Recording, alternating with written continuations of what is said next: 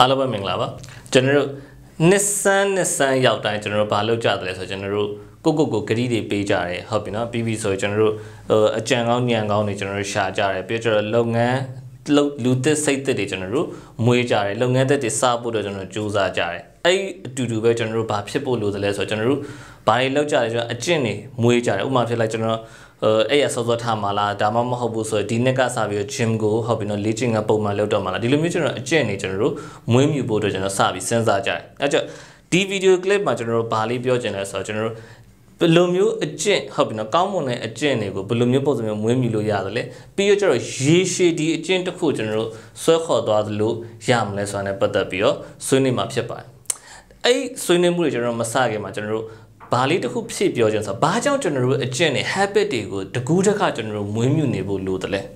အဲ့တော့ habit တစ်ခုကျွန်တော်တို့ပုံမှန်ရှိသွားတဲ့အချိန်မှာကျွန်တော်တို့အမြဲတမ်းကျွန်တော်တို့လုပ်ဖို့အတွက်ဒီလုပ်ကိစ္စတစ်ခုလုပ်ဖို့အတွက် motivation ကျွန်တော်တို့မလိုတော့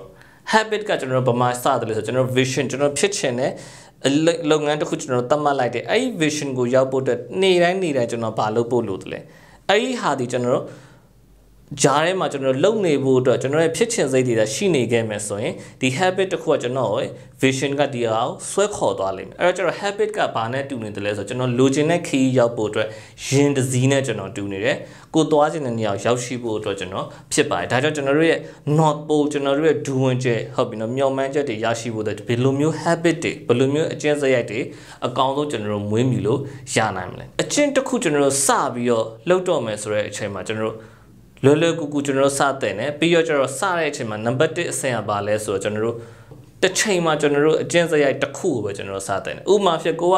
မနက်စောစောအဲ့ရထားဖို့ကျွန်တော်တတ်မှတ်လိုက်ပြီဆိုရင်ဟုတ်ပြီနော်ကျွန်တော်ရဲ့အကျင့်ဒီအချိန်ကာလတစ်ခုဒီမနက်စောစောအဲ့ရထားဖို့အတွက်ပဲကျွန်တော်လေ့ကျင့်တာဖြစ်ရမယ် အကယ်၍ကိုကအစားလျှော့စားဖို့အတွက်ကျွန်တော်အကျဉ်းတစ်ခုစားလုပ်တော့မှဆိုကျွန်တော်ရဲ့ဒီကာလတစ်ခုမှာကျွန်တော်အစားတစ်ခုတည်းလျှော့စားဖို့အတွက်ပဲကျွန်တော်စဉ်းစားတာဖြစ်မယ်။ဒို့ဒီမဟုတ်ဘူးဆိုတနေ့ကိုစားပုံမှန်ဖတ်မှာလားစားပုံမှန်ဖတ်မယ်ဆိုတော့အကျဉ်းတစ်ခုမွေးမယ်ဆိုရင်ဒီတစ်ခုတည်းကိုပဲကျွန်တော်လေ့ကျင့်နဲ့ကျွန်တော်ရဲ့နေ့တူတူဝါထဲမှာကျွန်တော်ထည့်ထားဖို့ဖြစ်ပါတယ်။ဒါဒီနံပါတ်1အချက်ပါ။နံပါတ်2အချက်ကကျတော့ကျွန်တော်တို့ဘာဖြစ်ဖို့လိုတယ်လဲဆိုတော့ကျွန်တော်တို့ဒီဟာကိုကျွန်တော်တို့နေ့စဉ်ရက်ဆက်ကျွန်တော်တို့ commit လုပ်ထားရမယ် အကျဉ်းတစ်ခုဖြစ်ဖို့ဆိုတော့ကျွန်တော်သိပ္ပံပညာရှင်တွေကဘာပြောလဲဆိုတော့အနည်းဆုံးကျွန်တော်21ရက်ကနေပြီးတော့သူဒီ66ရက်ကြာပါတယ်အဲ့ဒီတော့ကိုကနေပြီးအနည်းဆုံးကိုဒီအကျဉ်းတစ်ခုဆိုကိုတလမှာဒီလမှာ January မှာဘာအကျဉ်းတစ်ခုငါမွေးမြူမှာလဲ February မှာဘာအကျဉ်းတစ်ခုမွေးမြူမှာလဲကိုဒီဒီအကျဉ်းတစ်ခုကိုတတ်မှတ်ကမယ်အဲ့ဒီတလလုံးမှာလုံနိုင်ဖို့အတွက်ကြိုးစားဖို့လိုပါတယ်နံပါတ်3ချက်ကဘာလဲဆိုတော့ကျွန်တော်တို့ habit တစ်ခုလုပ်တဲ့အချိန်မှာတစ်ချိန်မှာတစ်ခုလုပ်တယ်လုပ်တဲ့အချိန်မှာကျွန်တော်တို့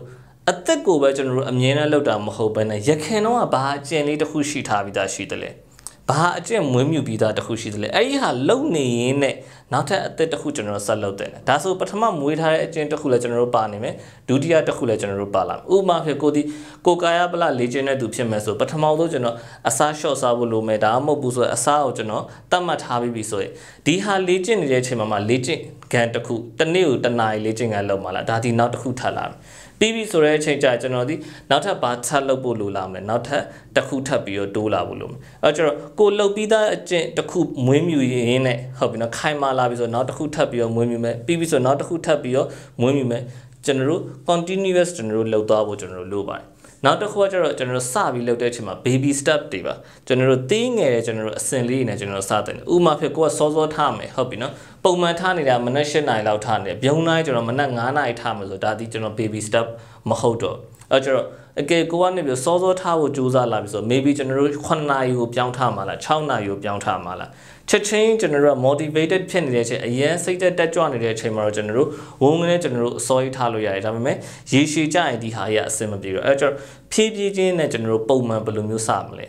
အကယ်၍ကိုကတနေ့ကိုထမင်း၃လေးဘက်ကန်စားနေနေဟုတ်ပြီနော်ပြုံးတိုင်းကျွန်တော်ထမင်းကိုမစားတော့အစာလျှော့စားတော့မယ်အရွက်တွေပဲစားတော့မယ်ဆိုပြီးပြုံးတိုင်းကျွန်တော်ပြောင်းလဲသွားတဲ့အချိန်မှာကျွန်တော်ရဲ့ခန္ဓာကို metabolism ကျွန်တော်တို့ mental clock လို့ခေါ်ရကျွန်တော်တို့ဇီဝနာရီတွေကဒီဟာတွေကိုအတိအမှတ်ကျွန်တော်ချက်ချင်းပြုနိုင်မှာမဟုတ်ဒါတွေအတွက်ကိုကျွန်တော် baby step ကျွန်တော်တို့အမြင်နဲ့ကိုယ့်ရဲ့ခန္ဓာကိုကျွန်တော်တို့ training လုပ်ပေးဖို့လိုပါတယ် ပြီးပြီဆိုလုံနေတဲ့အချိန်မှာလေ့ကျင့်နေတဲ့အချိန်မှာကျွန်တော်တို့အခက်ခဲတွေရှိလာနိုင်မယ်အဲ့ဒီအခက်ခဲတွေဟုတ်ပြီနော်ပြင်းရတာမျိုးဖြစ်လာနိုင်မယ်ဒါမှမဟုတ်ဆိုကျွန်တော်တို့အုံနောက်ထဲမှာဟုတ်ပြီနော်လာပြောနေလိမ့်မယ်အကယ်၍စောစောထလာပြီဟုတ်ပြီနော်တပတ်10ရက်လောက်ထားပြီဆိုရင်ဟာမိုးလွင်မင်းကတော့ဟုတ်ပြီနော်ရက်နှစ်ပေါင်းများစွာအစောကြီးထားနေပြီဒီနေ့တရက်တော့အိတ်လိုက်ပါအောင်ဒါအုံနောက်ကကျွန်တော်တို့လာပြီးပြောတာဒီလိုမျိုးအခက်ခဲမျိုးတွေကိုဘယ်လိုမျိုးကျွန်တော်တို့ကာကွယ်ရင်ဆိုင်နေမလဲဒါတွေလည်းကျွန်တော်တို့ရင်ဆိုင်နေဖို့လိုပါတယ် ပြီးတော့ကျတော့ကျွန်တော်တို့နောက်တစ်ခုအရေးကြီးတာလူတွေကကိုယ့်ရဲ့အောင်မြင်လာတဲ့အချိန်ကျကိုယ့်ရဲ့ success story ကိုတခြားသူတွေပြောပြပါငါတို့အခုဘယ်ချိန်ထနေပြီဘယ်လိုမျိုးအစားအသောက်တွေရှော့စားတဲ့အတွက်ကိုဘာတွေပြောင်းလဲမှုတွေဖြစ်လာတယ်လူအများကိုကြင်ညာခြင်းအဖြစ်ဟုတ်ပြီနော်ကိုကိုကိုလည်းတတိပေးပြီးသားဖြစ်တယ်ပြီးသွားတဲ့အချိန်ကျတခြားသူတွေကြည့်ရှုနေတဲ့အသိစိတ်တဲ့ကြောင့်ကိုဒီဒီဟာကိုပို့ပြီးတော့ခိုင်ခိုင်မာမာရဲရဲဝံ့ဝံ့နဲ့ဟုတ်ပြီနော်ပို့ပြီးတော့ရှေ့တိုးဖို့အတွက်ကြိုးစားကြင်စိတ်ကျွန်တော်တို့ပို့ပြီးပေါက်လာပါလိမ့်မယ် နောက်အချက်ကတော့ပါလဲဆိုတော့ကျွန်တော်တို့ rewards ပါကိုဒီအောင်မြင်မှုတစ်ခုရရှိလာပြီဟုတ်ပြီနော်ကိုသတ်မှတ်ထားတဲ့ limit goal တစ်ခုကိုရောက်ရှိလာတဲ့ကာလတစ်ခုဟုတ်ပြီနော်တစ်လရက်40ကျွန်တော်တို့လုံနိုင်ပြီဆိုကိုကိုကိုစူးချပါဟုတ်ပြီနော်အဲကျွန်တော်ဒီဟာလေးလုံနိုင်တဲ့အတွက်ငါကိုငါဟုတ်ပြီနော်အတိမပြူတာမျိုးဟုတ်ပြီနော်ဒီလိုမျိုးကျွန်တော်တို့စူးချတာမျိုးဟုတ်ပြီနော်အကယ်၍ကိုကစာဖတ်တဲ့အလေးထားတစ်ခုရှိလာပြီဟုတ်ပြီနော်ကိုဒီပုံမှန်ဟုတ်ပြီနော်တစ်နေ့ကိုအချိန်45မိနစ်တစ်နာရီစာဖတ်မယ်လို့ပြောထားတယ် jet ပေါင်းဟုတ်ပြီနော်တလားကျော်လောက်ကိုကိုကိုစာဖတ်လာပြီဆိုရင်ဘာလေးနဲ့စုချမှာလဲ maybe ဟုတ်ပြီနော်ဟို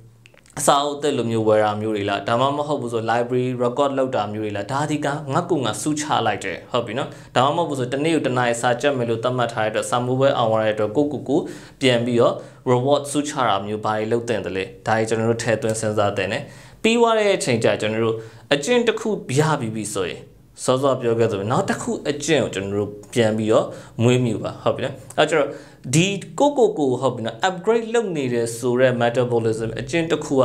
ခန္ဓာကိုယ်ကလက်ခံနေပြီဆိုရင်သူဒီအမြဲတမ်း update လုပ်ကြတော့မယ်ကျွန်တော်ဖုန်းတွေလိုပဲဟုတ်ပြီနော်ကျွန်တော်ဖုန်းတစ်လုံးဝယ်ပြီးသွားပြီဆိုနောက်နှစ်နှစ်နေပြီဆိုဒီဖုန်းကျွန်တော်လဲရမယ်ဆိုကျွန်တော်သိသွားပြီ ဟုတ်ပြီနော်တစ်ချိန်ချိန်မှာဒီဖုန်းကကျွန်တော်တို့ version မြင့်လာတဲ့အချိန်ကျကျွန်တော် update လုပ်ကြမှာဆိုကျွန်တော်သိသွားပြီဒီလိုမျိုးပဲကျွန်တော်ရဲ့ခန္ဓာကိုယ်ကိုကျွန်တော်တို့ကနေပြီးတော့အမြဲတမ်းကျွန်တော်တို့ program ရေးနေဖို့လိုတယ်အမြဲတမ်းကျွန်တော်တို့ season နေဖို့ sunset နေဖို့ကျွန်တော်တို့လိုပါတယ်အဲ့ဒီအတွက်ကြောင့်ကျွန်တော်တို့ကောင်းမွန်တဲ့အကျင့်တွေဟုတ်ပြီနော်ကောင်းမွန်တဲ့ဇယိုက်တွေပြီးတော့ကျွန်တော်ကောင်းမွန်တဲ့ကျွန်တော်တို့ အအလေးထားတွေကျွန်တော်တို့အမြင်နဲ့မွေးမြူနေခြင်းကကျွန်တော်ရဲ့ခန္ဓာကိုယ်ရဲ့လေ့ကျင့်မှုတစ်ခုအနေနဲ့ရှိနေတယ်ဆိုတာလေးလည်းဖြစ်နေဖို့လိုရဲဆိုတာလေးတရင်ငေါက်ပါရင်လည်းဒီဗီဒီယိုလေးဒီကုတ်ချုပ်လိုက်ပါတယ်အားလုံးကျေးဇူးတင်ပါတယ်